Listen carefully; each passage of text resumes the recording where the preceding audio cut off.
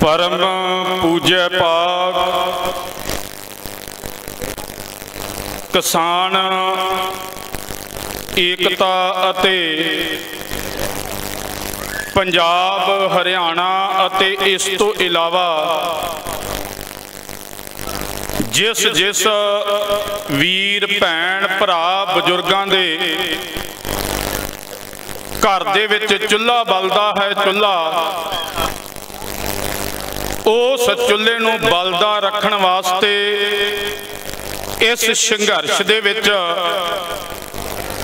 ਬਜ਼ੁਰਗ ਬੱਚੇ, ਮਤਾਵਾਂ, ਨੌਜਵਾਨ ਵੀਰ ਜਿੰਨੇ ਵੀ ਇੱਥੇ ਇਸ ਸੰਘਰਸ਼ ਵਿੱਚ ਹਾਜ਼ਰ ਹੋ ਕਰਕੇ ਪਹੁੰਚੇ ਜੇ ਪਰਿਵਾਰਾਂ ਸਮੇਤ ਕਿਸੇ ਵੀ ਢੰਗ ਤਰੀਕੇ ਨਾਲ ਪਹੁੰਚੇ ਜੇ ਸਾਰੇ ਵੀਰਾਂ ਭਰਾਵਾਂ ਨੂੰ ਸ੍ਰੀ ਅਕਾਲ ਤਖਤ ਸਾਹਿਬ ਜੀ ਦੇ ਪੰਜ ਪਿਆਰੇ ਸਿੰਘ ਸਾਹਿਬਾਨਾਂ ਵੱਲੋਂ ਗੁਰੂ ਫਤਿਹ ਹੈ, ਸਾਰੀ ਸੰਗਤ ਫਤਿਹ ਬੁਲਾਓ। ਵਾਹਿਗੁਰੂ ਜੀ ਕਾ ਖਾਲਸਾ, ਵਾਹਿਗੁਰੂ ਜੀ ਕੀ ਫਤਿਹ। ਕਿਸੇ ਕਵੀ ਦੇ ਦੋ ਲੈ ਬੋਲ ਬੜੇ ਸੁੰਦਰ ਨੇ। ਉਹ ਕਵੀ ਨੇ ਇਹਨਾਂ ਸੁੰਦਰ ਬੋਲਾਂ ਨੂੰ ਕਿਸੇ ਉਰਦੂ ਦੇ ਸ਼ਾਇਰ ਨੇ ਦੋ ਗੱਲਾਂ ਲਿਖੀਆਂ ਨੇ। ਉਹ ਕਵੀ ਕਹਿੰਦਾ ਹੈ ਕਿ ਜੋ ਬਾਤ ਦਵਾ ਸੇ ਬਣ ਨਾ ਸਕੈ, ਉਹ ਬਾਤ ਦੁਆ ਸੇ ਹੁੰਦੀ ਹੈ। ਦਵਾ ਕਹਿੰਦੇ ਨੇ ਆ ਦਵਾਈ, ਜਿਹਦੇ ਨਾਲ ਅਸੀਂ ਆਪਣਾ ਸਰੀਰ ਦਾ ਰੋਗ ਖਤਮ ਕਰ ਸਕਦੇ ਹਾਂ। ਤੇ ਦੁਆ ਹੁੰਦੀ ਹੈ ਅਰਦਾਸ। जो बात दुआ से बन ना सके वो बात दुआ से होती है जब कामल मुर्शद मिलते हैं तो बात खुदा से होती है जंग बड़ा वड्डा है गुरमुखो वीरो भराओ ਯਾਦ ਰੱਖਣਾ ਸਾਡਾ ਇਹਦੇ ਤੋਂ ਪਹਿਲਾਂ ਇਤਿਹਾਸ ਹੈ ਕਿ ਅਸੀਂ ਕਦੀ ਹਾਰ ਕਰਕੇ ਵਾਪਸ ਨਹੀਂ ਗਏ ਮੈਂ ਇੱਕ ਦੋ ਐਗਜ਼ਾਮਪਲਾਂ ਸੰਖੇਪ ਤੌਰ ਤੇ ਇਤਿਹਾਸ ਦੇ ਵਿੱਚੋਂ ਦਵਾਂਗਾ। ਉਹਨਾਂ ਜੋ ਆਪਾਂ ਨੂੰ ਇਸ ਗੱਲ ਦਾ ਪਤਾ ਲੱਗ ਜਾਵੇਗਾ ਕਿ ਅਸੀਂ ਕਦੀ ਜੰਗ ਹਾਰ ਕੇ ਘਰ ਨਹੀਂ ਗਏ। ਸਭ ਤੋਂ ਪਹਿਲਾਂ ਮੈਂ ਇੱਕ ਐਗਜ਼ਾਮਪਲ ਦਵਾਂਗਾ ਬਾਬਾ ਬੰਦਾ ਸਿੰਘ ਬਹਾਦਰ ਦੇ ਸਮੇਂ ਦੀ। ਦੋ ਦਲਾਂ ਦੇ ਵਿੱਚ ਬਾਬਾ ਬੰਦਾ ਸਿੰਘ ਬਹਾਦਰ ਦਾ ਦਲ ਵੰਡਿਆ ਗਿਆ। ਇੱਕ ਬਣ ਗਿਆ ਬੰਦਈ ਖਾਲਸਾ ਤੇ ਦੂਜਾ ਬਣ ਗਿਆ ਗੁਰੂ ਪਿਆਰਿਓ ਤਤ ਖਾਲਸਾ। ਜਿਵੇਂ ਅੱਜ ਮੌਕੇ ਦੀਆਂ ਸਰਕਾਰਾਂ ਆਪਣਾ ਸਿੱਕਾ ਚਲਾ ਰਹੀਆਂ ਨੇ, ਅੱਗ ਲਾ ਕੇ ਤੇ ਕੁੱਤਾ ਕੰਧ ਤੇ ਚਲਾ ਜਾਂਦਾ ਏ। ਕੋਈ ਲੜਦਾ ਰਵੇ, ਕੋਈ ਸੜਦਾ ਰਵੇ, ਕਿਸੇ ਦੇ ਘਰ ਵਿੱਚ ਅੱਗ ਮੱਚਦੀ ਰਵੇ, ਉਹਨਾਂ ਨੂੰ ਕੋਈ ਨਹੀਂ ਹੈ। ਇਸ ਤਰ੍ਹਾਂ ਹੀ ਜਿਹੜਾ ਬੰਦਈ ਖਾਲਸਾ ਸੀ, ਲਾਹੌਰ ਦੇ ਸੂਬੇ ਨੇ, ਉਹਨਾਂ ਨੂੰ ਆਪਣੀ ਪਕੜ ਵਿੱਚ ਲੈ ਲਿਆ।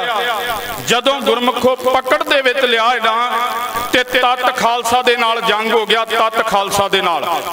ਪਰ ਉਹ ਤਤ ਖਾਲਸਾ ਵਾਲੇ ਕੇਵਲ ਤਾਂ ਕੇਵਲ ਕੁਝ ਗਿਣਤੀ ਦੇ 2 ਤੋਂ 250 ਦੇ ਵਿੱਚ ਸੀ। ਪਰ ਇੱਧਰ ਦੋ ਬੰਦੇ ਸਰਕਾਰਾਂ ਵੀ, ਪਰ ਜਦੋਂ ਜੰਗ ਹੋਇਆ, ਜਿਹੜਾ ਤਤ ਖਾਲਸਾ ਜੀ, ਉਹ ਗੁਰਮਖੋ ਅੰਮ੍ਰਿਤਸਰ ਸਾਹਿਬ ਜੀ ਦੀ ਨਗਰੀ ਤੋਂ ਚੱਲ ਕੇ ਲਾਹੌਰ ਦੀ ਧਰਤੀ ਤੇ ਗਿਆ ਤੇ ਉੱਥੇ ਜਾ ਕਰਕੇ ਗੁਰੂ ਪਿਆਰਿਓ ਜੰਗ ਜਿੱਤ ਕੇ ਆਇਆ ਸੀ। ਪਹਿਲੀ ਉਦਾਹਰਨ ਇਹ। ਦੂਜੀ ਉਦਾਹਰਣ, ਗੁਰੂ ਪਿਆਰੀ ਸਾਧ ਸੰਗਤ ਜੀ, ਗੁਰੂ ਜਿੰਨੇ ਵੀ ਕਿਸਾਨ ਏਕਤਾ ਵਿੱਚ ਆਏ ਆ, ਗੁਰੂ ਪਿਆਰਿਓ, ਕਿਸੇ ਦਾ ਸਾਲਾਂ ਦਾ ਇਤਿਹਾਸ ਹੋਵੇਗਾ, ਪਰ ਮੇਰੀ ਕੌਮ ਦਾ ਇਤਿਹਾਸ ਸੈਂਕੜੇ ਸਾਲਾਂ ਦਾ ਹੈ ਜਿਹੜਾ ਕਦੀ ਅੱਜ ਤੱਕ ਅਸੀਂ ਹਾਰ ਕੇ ਘਰ ਨਹੀਂ ਵਾਪਸ ਗਏ।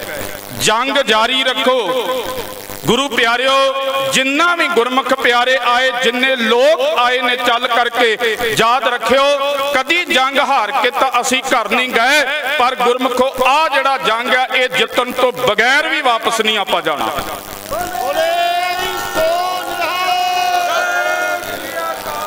ਕਿਉਂਕਿ ਇਹ ਅੱਜ ਇਹ ਅਸੀਂ ਕਿਸਾਨੀ ਸੰਘਰਸ਼ ਕਰਨ ਆਏ ਆ ਯਾਦ ਰੱਖਿਓ, ਸਰਦਾਰ ਦੇ ਘਰ ਵਿੱਚ ਜੰਮੇ ਹੋਏ ਬੱਚੇ ਨੂੰ ਨਿਤ ਮੁਹਿੰਮਾਂ ਪੈਂਦੀਆਂ ਨੇ। ਉਹ ਜੰਮਦਾ ਵੀ ਮੁਹਿੰਮਾਂ ਵਿੱਚ ਹੈ, ਨੌਜਵਾਨ ਵੀ ਮੁਹਿੰਮਾਂ ਵਿੱਚ ਹੁੰਦਾ ਜੰਗ ਲੜਦਾ ਹੁੰਦਾ ਹੈ ਤੇ ਜਦੋਂ ਬੁੱਢਾ ਹੋ ਜਾਂਦਾ ਤੇ ਗੁਰਮੁਖੋ ਯਾਦ ਰੱਖਿਓ, ਉਦੋਂ ਵੀ ਉਹ ਜੰਗ ਲੜਦਾ ਲੜਦਾ ਹੀ ਸੰਸਾਰ ਤੋਂ ਜਾਂਦਾ ਏ ਅਸੀਂ ਜੰਗ ਲੜਨ ਆਏ ਆ ਜੰਗ ਲੜਾਂਗੇ ਤੇ ਲੜ ਕਰਕੇ ਜਿੱਤਾਂਗੇ। ਇਹ ਗੁਰੂ ਪਿਆਰਿਓ ਇਹ ਬਿਲਕੁਲ ਇਸ ਸਟੇਜ ਦੇ ਉੱਤੇ ਇਹ ਗੱਲ ਸੱਚ ਹੋ ਕੇ ਰਹੇਗੀ। ਇਸ ਕਰਕੇ ਅਸੀਂ ਸ੍ਰੀ ਅਕਾਲ ਤਖਤ ਸਾਹਿਬ ਤੋਂ ਗੁਰੂ ਰਾਮਦਾਸ ਸੱਚੇ ਪਾਤਸ਼ਾਹ ਮਹਾਰਾਜ ਜੀ ਦੀ ਨਗਰੀ ਪਵਿੱਤਰ ਸਥਾਨ, ਸੱਚਖੰਡ ਸ੍ਰੀ ਹਰਮੰਦਰ ਸਾਹਿਬ, ਸ੍ਰੀ ਅਕਾਲ ਤਖਤ ਸਾਹਿਬ, ਧੰਨ ਧੰਨ ਗੁਰੂ ਹਰਗੋਬਿੰਦ ਸਾਹਿਬ ਪਾਤਸ਼ਾਹ ਮਹਾਰਾਜ ਜੀ ਦੇ ਅਸਥਾਨਾਂ ਤੋਂ ਆਪ ਇਸ ਸੰਘਰਸ਼ ਦੇ ਵਿੱਚ ਪਹੁੰਚ ਕਰਕੇ ਇੱਕ ਅਰਦਾਸ ਬੇਨਤੀ ਕਰਕੇ ਜਾਣੇ ਹਾਂ ਕਿ ਇਹ ਸਮੁੱਚਾ ਪੰਥ, ਸਮੁੱਚੇ ਲੋਕ, ਸਮੁੱਚੇ ਕਿਸਾਨ ਇਸੇ ਪ੍ਰਕਾਰ ਮਜ਼ਦੂਰ ਇੱਕ ਦਿਨ ਇੱਥੋਂ ਜਿੱਤ ਕਰਕੇ ਜਾਣ ਤੇ ਜਿਹੜਾ ਆ ਨਵਾਂ ਸਾਲ ਲੰਘਿਆ ਏ, ਇਹਦੀ ਅਸੀਂ ਖੁਸ਼ੀ ਜਿਹੜੀ ਆ, ਇੱਥੋਂ ਜਿੱਤ ਦੀ ਅਸੀਂ ਮਨਾ ਕਰਕੇ ਜਾਈਏ।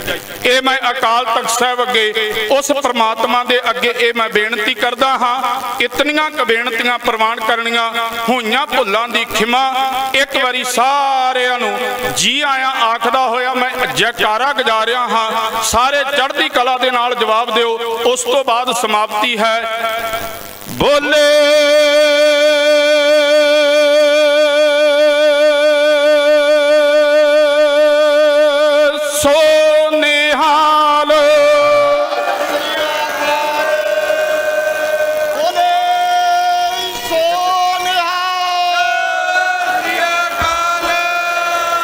ਬੋਲੇ ਸੋ ਨਿਹਾਲ, ਸਤਿ ਸ੍ਰੀ ਅਕਾਲ। ਬੋਲੇ ਸੋ ਨਿਹਾਲ। ਬੋਲੇ ਸੋ ਨਿਹਾਲ। ਪੰਜ ਜੈਕਾਰੇ, ਪੰਜ ਪਿਆਰੇ ਸਿੰਘ ਸਾਹਿਬਾਨਾਂ ਨੇ ਲਾਏ ਨੇ। ਤੇ ਭਾਈ ਗੁਰਦਾਸ ਜੀ ਕਹਿੰਦੇ, ਇੱਕ ਸਿੱਖ, ਦੋਏ ਸਾਧ ਸੰਗ, ਪੰਜੀ ਪਰਮੇਸ਼ਰ। ਤੁਹਾਡੇ ਜਕਾਰਿਆਂ ਦੀ ਜਿੱਤ ਤੇ ਪਰਮੇਸ਼ਰ ਦੀ ਆਵਾਜ਼ ਜਿਹੜੀ ਹੈ, ਉਸ ਧੁਰ ਦਰਗਾਹ ਤੋਂ ਆਈ ਹੈ। ਗੁਰੂ ਕਿਰਪਾ ਕਰੇ, ਉਹ ਮਾਲਕ ਪਰਮਾਤਮਾ ਸਾਨੂੰ ਇਹ ਜੰਗ ਜਿੱਤ ਕਰਕੇ ਅਸੀਂ ਇੱਥੋਂ ਦਿੱਲੀ ਦੀ ਧਰਤੀ ਤੋਂ ਆਪਣੇ ਘਰਾਂ ਨੂੰ ਜਾਈਏ। ਇਤਨੇ ਬਚਨ ਪ੍ਰਵਾਨ ਕਰਨੇ, ਹੋਈਆਂ ਭੁੱਲਾਂ ਦੀ ਖਿਮਾ। ਵਾਹਿਗੁਰੂ ਜੀ ਕਾ ਖਾਲਸਾ, ਵਾਹਿਗੁਰੂ ਜੀ ਕੀ ਫਤਿਹ। ਵਾਹਿਗੁਰੂ ਜੀ ਕਾ ਖਾਲਸਾ ਵਾਹਿਗੁਰੂ ਜੀ ਕੀ